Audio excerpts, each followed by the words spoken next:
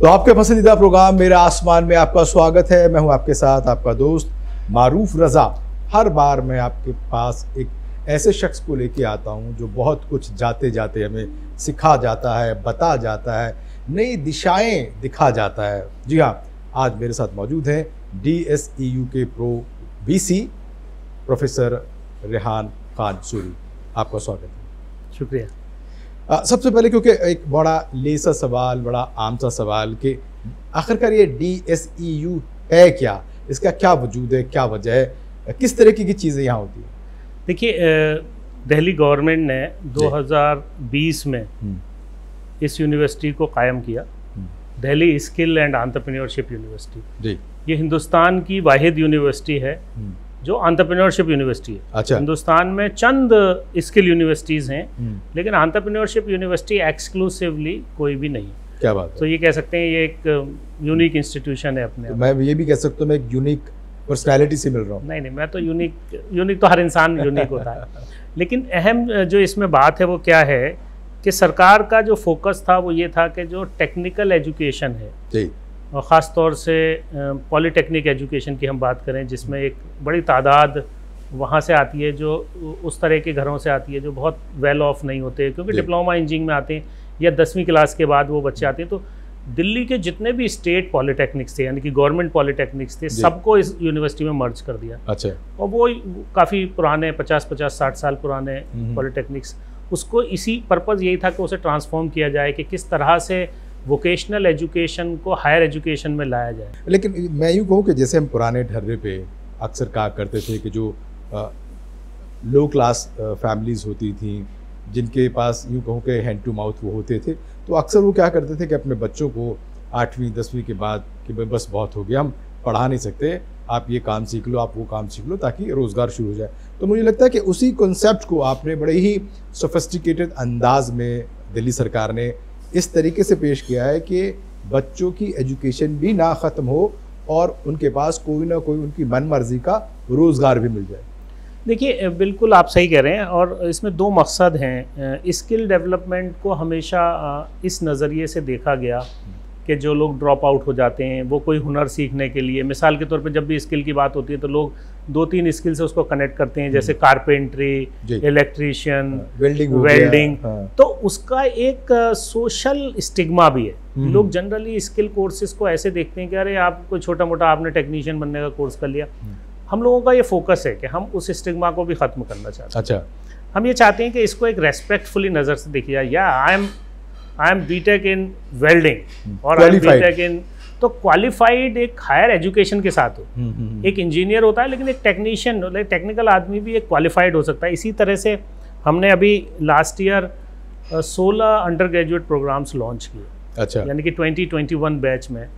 21 22 batch और 22 23 batch अभी हमारे दो बैचेस एडमिट हुए हैं। उसमें हमने 16 अंडर ग्रेजुएट प्रोग्राम शुरू किए और आप एक कोर्स शुरू किया जो शायद हिंदुस्तान में मेरी नॉलेज में तो नहीं है किसी गवर्नमेंट यूनिवर्सिटी में हो। वो है B A in B A oblique B S C in aesthetics and beauty therapy अच्छा। तो जो एक सैलून में काम करने सैलून में काम करने वाला कोई भी है जो हेयर ड्रेसर हो सकता है या पार्लर में काम करने वाली लड़की हो सकती है उसको एक ग्रेजुएशन की डिग्री हम्म, उसके बाद वो अपना सैलून खोलता है या खोलती है या उसके बाद वो आपको कहीं किसी बड़े सैलून में काम करते हैं हम्म, या किसी वेलनेस सेंटर में काम करते हैं हम्म। उसके लिए एक स्कोप ही स्कोप है और क्वालिफाइड है। जी जी। ये अच्छी बात है कि आपने लोगों को एक नई दिशा दी एक डायरेक्शन दी और एक जगह दी कि आप यहाँ पर आकर के ये सब चीज़ें सीख सकते हैं। लेकिन सवाल उसके बाद खड़ा ये होता है कि क्या ये डिग्री लेने के बाद ये स्किल लेने के बाद उनको आसानी से कंफर्ट जोन के साथ वो स्किल वो बिज़नेस वो एरिया मिल पाता। उसके लिए डी क्या करता है? बहुत अच्छा सवाल है। जनरली लोग ये सवाल पूछते हैं कि भाई नौकरी कहाँ मिलेगी किस तरह का जॉब मिलेगा। हम्म। हम लोगों ने इन कोर्सेज को शुरू करने से पहले एक बहुत ही कहते हैं थॉरो रिसर्च की हम्म, कि किस एरिया में कोर्स शुरू किया हम्म, उसके बाद उस रिसर्च के बाद कोर्स शुरू करने से पहले जिस जो एरियाज़ आइडेंटिफाई हुए उन एरियाज़ की जो टॉप कंपनीज़ थी उनको अप्रोच किया। हम्म, उनको इनवाइट किया कि वो हमारे साथ आएँ अच्छा। और कोर्स शुरू करने में हमारी मदद करें हम्म, और हमें पार्टनर करें। हम्म, उसमें उस एरिए की जो भी टॉप कंपनीज़ थी उनको हमने उन उनके जो सीनियर टेक्निकल लोग थे उनको एक करिकुलम एडवाइजरी ग्रुप बनाया। अच्छा। और उस करिकुलम एडवाइजरी ग्रुप में हम्म। कुछ लोग आधे लोग एकेडमिया से लिए और हम्म। आधे लोग इंडस्ट्री से लिए उस फ़ील्ड के। हम्म, और उनको बिठाया। अच्छा। और फिर उसका करिकुलम डिज़ाइन किया। और उसके बाद वो कोर्स लॉन्च किया। और यकीन मानिए कि जितने भी हमारे ये अंडर ग्रेजुएट प्रोग्राम्स हैं उसमें हमने हर ईयर एक इंटर्नशिप का कंपोनेंट रखा है ऑन जॉब ट्रेनिंग का कंपोनेंट रखा है। हम्म, उस उसमें क्या होता है कि बच्चे जैसे मैं बताऊँ एक कोर्स है हमारा बीबीए रिटेल मैनेजमेंट उसमें तीन दिन बच्चे यूनिवर्सिटी आते हैं हम्म, और तीन दिन वो रिटेल आउटलेट्स में जाते हैं। अच्छा प्रैक्टिकल काम भी करते रहते हैं। हाँ तो तीन दिन वो काम करते हैं उसके उनको कंपनीज़ पैसे भी देती हैं। अरे वाह। तकरीबन नौ हज़ार रुपये से लेके सात हज़ार रुपये से नौ हज़ार रुपये तक के उनका स्टाइपेंट रहता है। हम्म, तो बच्चा एक कोर्स भी कर रहा है उसको उसकी पॉकेट एक्सपेंसेस भी मिल रहे हैं हम्म। और उसकी लर्निंग एक्सपीरियंस भी हो रहा है कोर्स अच्छे हैं यूनिक आइडिया है और जिस तरीके से आप कह रहे हैं कि दर बदर भटकने की ज़रूरत नहीं सब कुछ यहाँ पर अवेलेबल है बल्कि डे वन से आप के पास कम से कम आपकी पॉकेट मनी तो आपकी जेब में आती रहती है सवाल ये भी होता है कि आखिर आपके यहाँ पे एडमिशन सपोज़ करिए कि मुझे लेना है किसी जो मेरे दर्शक देख रहे हैं उनके किसी बच्चे को लेना है तो क्या क्राइटेरिया है क्या टाइम होता है और किस तरीके के स्किल्स हैं? देखिए हम लोग दो तरह से बल्कि तीन पैचेज में करते हैं एडमिशन्स एक हमारा डिप्लोमा के एडमिशन्स अलग रहते हैं। डिप्लोमा में दसवीं क्लास के बाद कोई भी बच्चा या बच्ची उसमें अप्लाई कर सकती है। उसमें हमारा एक कंप्यूटर बेस्ड टेस्ट होता है। तो एक कॉमन एंट्रेंस टेस्ट समझ सकते हैं उसको।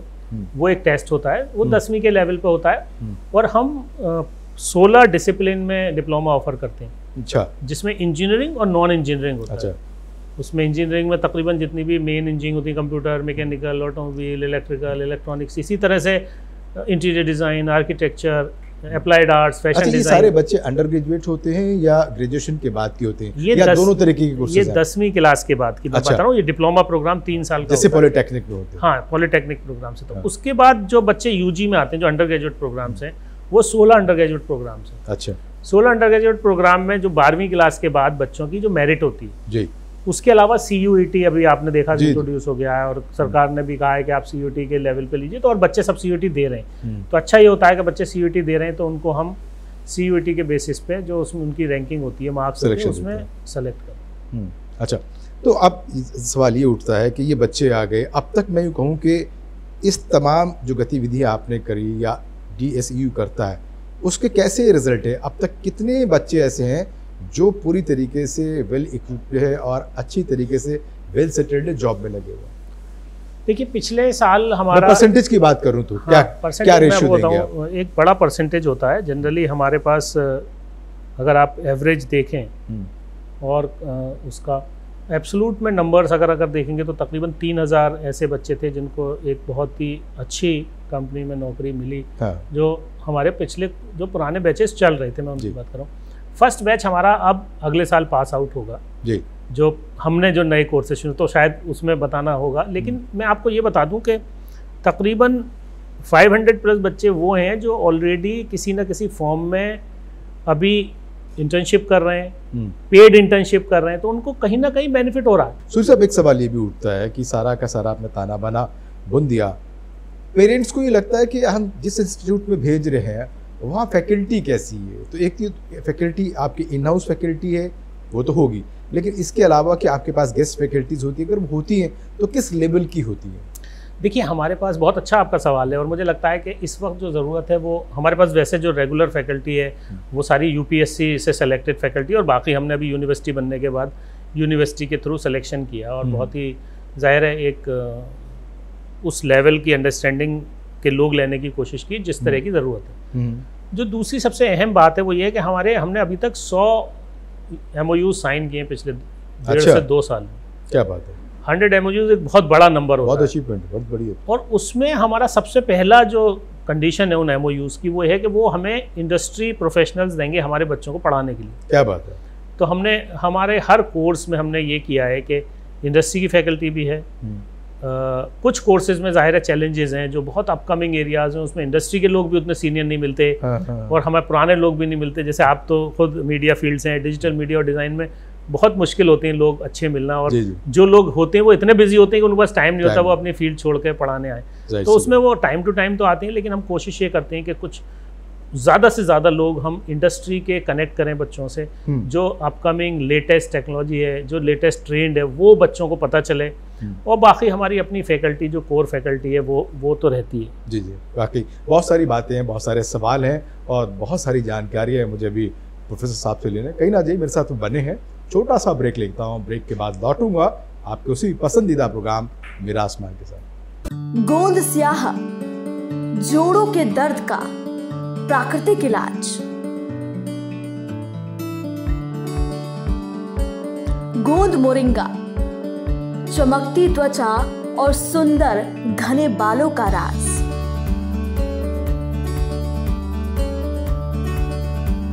वेलकम बैक आप देख रहे हो अपना पसंदीदा प्रोग्राम, मेरा आसमान और मेरे साथ बैठे हैं वो शख्स जिनके बारे में यूँ कहूँ कि इन्होंने जामिया में भी बड़े झंडे गाड़े और अब डी में भी एक मकाम पर हैं और बड़ी ज़िम्मेदारी से अपनी तमाम ड्यूटीज़ को वो निभा रहे हैं। जी, मैं बात कर रहा हूँ प्रोफेसर रेहान खान सूरी की। जी। लौट के आते हैं। थोड़े से आपके माजी की बात करते हैं इतिहास की बात करते हैं। जामिया में भी आपने बड़ी जिम्मेदारियाँ निभाई। ये डिफरेंस ज़ाहिर सी बात है कि हम भी एक जगह से दूसरी जगह जाते हैं तो कंपेयर करते हैं कि शायद मैं वो ज़्यादा अच्छा था या ये ज़्यादा अच्छा है। तो बड़ा मुश्किल होता है किसी बाप के लिए कहना कि ये बच्चा ज़्यादा अच्छा है कि वो ज़्यादा अच्छा है। एक डिप्लोमेटिक आंसर हो सकता है कि दोनों ही अच्छे हैं। लेकिन फिर भी सवाल ये उठता है कि दोनों में फ़र्क क्या है और किस तरीके की आपको यूँ कहूँ कि ड्यूटीज़ ज़्यादा पसंद देखिए जामिया तो खैर जामिया है। नो डाउट हम्म। सब जानते हैं कि जामिया की जो हिस्ट्री रही है जामिया ने जो अभी मकाम हासिल किए हैं जो। चाहे नेक की रैंकिंग हो एक सौ साल पुराना इदारा है तो उससे कोई कंपेयर करने का मेरे ख्याल से कोई मतलब नहीं है। लेकिन जहाँ तक मेरी रेस्पॉन्सिबिलिटीज़ की बात है तो यहाँ एक बहुत स्पेसिफिक रेस्पॉन्सिबिलिटी थी वहाँ जाके एक थोड़ा वाइडर पर्सपेक्टिव हो गया और जो सबसे अहम चीज़ थी वो ये थी कि बहुत सारी ऐसी चीज़ें थी जो हम दिल से करना चाहते हैं जब कभी कभी आपको लगता है कि ये चीज़ करें अगर तो बहुत अच्छा होगा तो वहाँ वो फ्रीडम है आपके हम्म। पास क्योंकि आपको ही फैसला लेना है हम्म। जो आप सोचते हैं कि वो कहते हैं ना आप उड़ो कितना उड़ सकते हो जी जी जी तो वहाँ एक वो फ्रीडम है और हम्म। सरकार की तरफ़ से भी वो सपोर्ट है कि आप क्या बेस्ट कर सकते हैं कितना मैक्स क्योंकि देर इज़ नो innovative कर सकते हैं कोई प्रेसिडेंट नहीं है कोई हम्म। क्योंकि यूनिवर्सिटी आपकी पहली बार बनी है हम्म। तो आप कहाँ से लाएँगे कुछ हम्म। कोर्सेज पहली बार इंट्रोड्यूस हो रहे हैं ज़्यादातर हम्म। कहीं से आप तो आपके लिए सामने बहुत बड़ा चैलेंज होता है कि आप कोई चीज़ नए सिरे से जब शुरू करते हैं हम्म। तो आपको बहुत चैलेंजिंग होता है और मुझे लगता है वो चैलेंज मेरे लिए बहुत जब मैं जामिया में मैंने ज्वाइन किया था तब वो मेरे लिए चैलेंज था क्योंकि जामिया में पहली बार सेंट्रलाइज प्लेसमेंट सेल बना और मैं जब यहाँ ज्वाइन किया तो मेरे लिए वो भी चैलेंजिंग टास्क की मैंने उसको एक लेवल से ले जाकर दूसरे एक लेवल तक अल्लाह ने पहुँचाया। हम्म। उसके बाद अब वहाँ गए तो वहाँ भी स्क्रैच से हमें काम करना था। हमने स्टार्ट किया जब हमारे पास बैठने का रूम भी प्रॉपर नहीं था। वो बनना भी हमारे सामने शुरू हुआ उसका इंतज़ाम किया उसके बाद कैंपसेस को रिवैम्प किया क्योंकि पुराने कैंपसेस थे। हम्म। फैकल्टी रिक्रूटमेंट किया सारे इंडस्ट्री इंडस्ट्री को लाना इंडस्ट्री के साथ करिकुलम डेवलप करना और उस, उस पेस को मेंटेन करना और आप सोचिए अगस्त 22 से लेके और तकरीबन ट्वेंटी टू सॉरी अगस्त 2020 से लेके और 22 फरवरी तक अच्छा। कोविड का दौर रहा हाँ, आप देखिए। कितना मुश्किल वक्त था हम लोगों ने किस तरह से काम किया उन दिनों हम्म। और हम अ, कामयाब हुए इक्कीस में तकरीबन हमने दिसंबर में अपना पहला बैच जब पाँच हज़ार स्टूडेंट एडमिट किए एज ए यूनिवर्सिटी।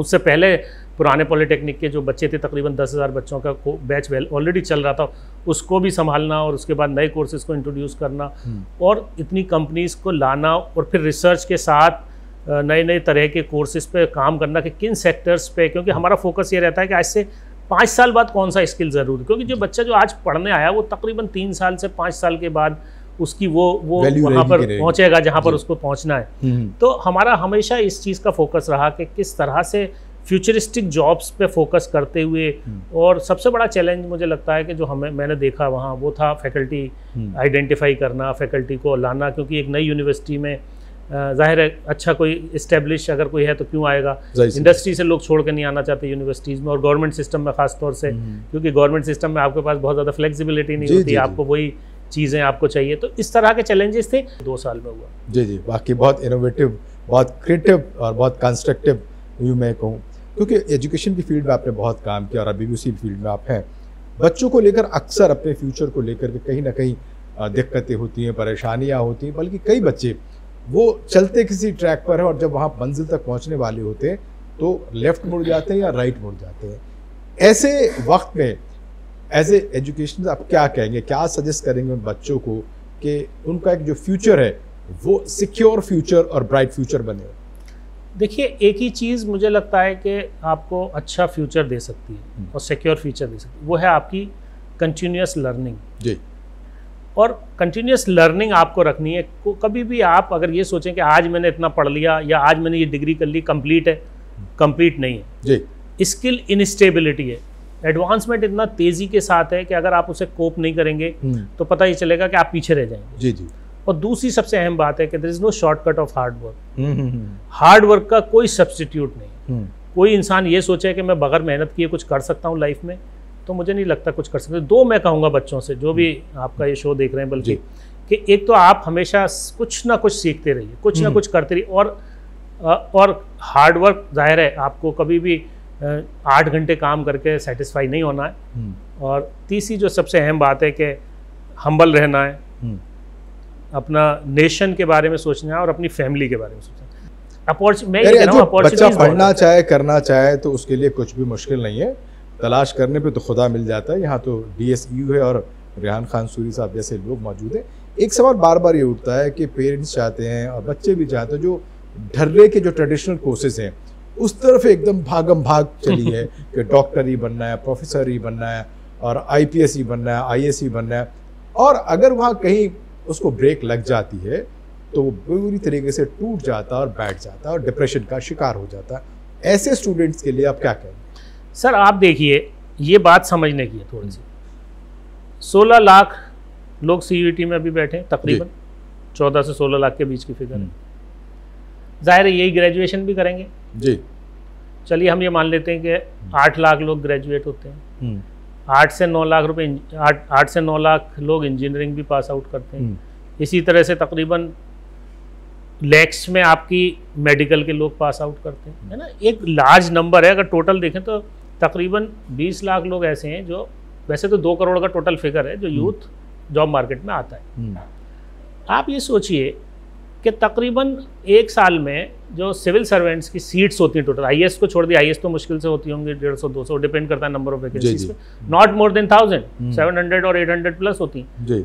अब नंबर देखिए हम्म, उसके बाद कितनी गवर्नमेंट जॉब्स होती हैं? हम्म, तो टोटल नंबर ही अगर आप देखेंगे आज की तारीख में टोटल अगर सब मिलाने तकरीबन पैंतालीस या पचास लाख नौकरियाँ गवर्नमेंट में। हम्म, सेंट्रल गवर्नमेंट की बात करूँ तो अगर आप गवर्नमेंट के लिए जो लोग सोचते हैं। हम्म, मैं ये नहीं कहता कि एस्पायरेंट नहीं होना चाहिए या आदमी को एस्पिरेशनल नहीं होना चाहिए बिल्कुल जाना चाहिए। मैं कहता हूँ आप सिविल सर्विसेज़ में जाइए हम्म, लेकिन सब लोगों को सिविल सर्विसेज़ में नहीं जाना चाहिए। उसके बाद आता है फिर हम हम क्यों नहीं एस एस सी की बात करते हैं? हम्म, उसके बाद एच एस सी की बात करते हैं।